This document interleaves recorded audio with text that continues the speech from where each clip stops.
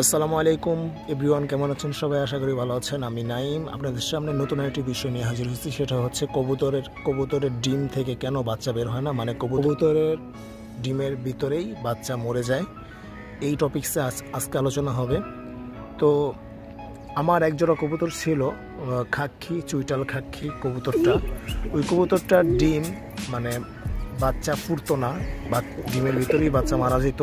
এরকম করে দুইবার হয়েছে তো দুইবার হওয়ার পরে আমি কবুতরটা আর কবুতরটা তৃতীয়বার যখন ডিম পারছে তখন আমি এই যে আমার এই নাপ্তা কবুতর এই নাপ্তা কবুতরের নিচে দিয়ে দিচ্ছিলাম তো আপনারা দেখতে পারতেছেন আল্লাহর রহমতে আজকে কালকে সকালে মেবি আমার নাপ্তা কবুতরের ডিমের থেকে বাচ্চা বের হয়েছে দেন এই ডিমটাও মনে- হয় বাচ্চা আহ, ফুটে যাব হ্যাঁ ঠিক আছে।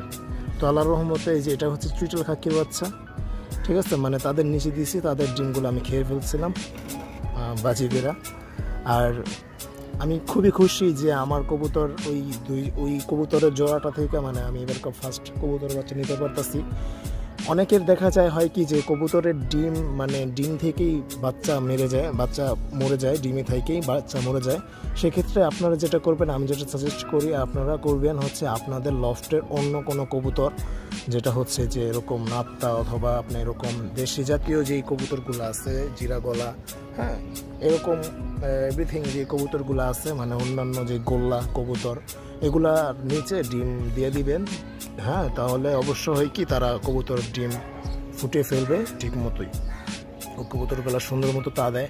আর এটা হচ্ছে যে খাকি কবুতরটা আমার মনে হয়, আমি যেটা ভাবছি মানে আমি যেটা ধরছি, সেটা হচ্ছে খাকি কবুতরটার আমার মনে হয় মানে তারা ও, তারা তা দিত ঠিকই, তারা চব্বিশ ঘন্টাই তা দিত, সুন্দর মতো তা দিত, কিন্তু আমার মনে হয়েছিল যে তাদের তা দেওয়াতে কোনো কোনো রকম কোনো রকম মানে একটু ঘাটতি আসছিল যেটা হচ্ছে যে তাদের শরীরের তাপ খুবই কম, আমার এটা মনে হয়েছিল। কারণ অনেক কবুতর আছে, তা দেয় ঠিকই, কিন্তু বাচ্চা ফুটে না। ঠিক আছে? এগুলা বাচ্চা ভিতর থেকে মরে যায় মানে বাচ্চা দুর্বল হয় এই জন্য বাচ্চা ভিতর থেকেই মরে যায়। তো সেক্ষেত্রে আমার মনে হয় যে কবুতরের যেই তাটা দেয় মানে ডিমের, আমি প্রথম ভাবছিলাম যে ডিমে মনে কোনো সমস্যা এনার্জি টেনার্জি খাওয়াইতে হবে পরে দেখলাম যে না, এখানে দেওয়ার পর দেখলাম আলোর মধ্যে দুটোটা বাচ্চাই ফুটবো। ঠিক আছে? তো সেক্ষেত্রে বোঝা যায় যে কবুতরের যেই মানে যদি এরকম কোনো সমস্যা হয়, আপনারা একটা কাজ করবেন। প্রথমত আপনারা ট্রাই করবেন যে ডিমগুলা অন্য কোনো কবুতরের নিচে দেওয়ার জন্য। তারপর দেখবেন, যদি না ফুটে, তারপর আপনারা বিভিন্ন কোর্স নিতে পারেন। কারণ বিভিন্ন রকমের সমস্যার কারণে ডিম নষ্ট হয়ে যেতে পারে, আর ডিমের ভিতরে বাচ্চা নষ্ট হয়ে যেতে পারে।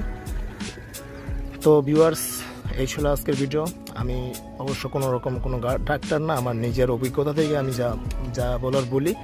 আপনাদের জন্য। যদি আপনাদের ভালো লাগে, অবশ্যই আপনারা আমার চ্যানেলটা লাইক করবেন এবং সাবস্ক্রাইব করবেন। আর কমেন্টে জানাবেন যদি কোনো রকম সমস্যা থাকে, আমি আশা করি আপনাদেরকে হেল্প করার চেষ্টা করব। তো এই ছিল আজকের ভিডিও ভিডিওটি যদি ভালো লাগে, অবশ্যই লাইক করবেন। আর, সামনে আরও নতুন ভিডিও আসতে পারে, যেটা আমার অভিজ্ঞতা থেকে অবশ্যই আপনাদেরকে জানাব। তাহলে আজকে এই পর্যন্তই। আসসালামু আলাইকুম রহমতুল্লাহি আবরকাত